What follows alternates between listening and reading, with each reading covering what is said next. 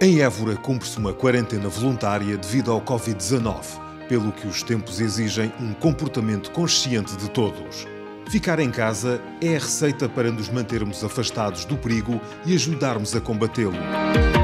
E quando sair, saiba que pode contar com a dedicação e o empenho dos nossos empresários e comerciantes que, pela natureza da sua atividade, continuam a trabalhar na cidade e um pouco por todo o Conselho todos os dias, assim como os pequenos produtores, para que a resposta às suas necessidades esteja ao virar da esquina ou mesmo em sua casa. Homens e mulheres que não desarmam na sua missão de servir e oferecer à população bens essenciais de primeira necessidade e outros produtos importantes no seu cotidiano. Homens e mulheres que garantem a vida na cidade e o apoio a todos nós.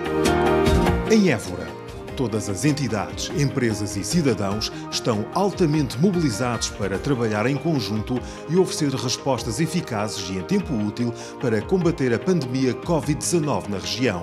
É tempo de união. Fique em casa por todos nós. Évora somos todos.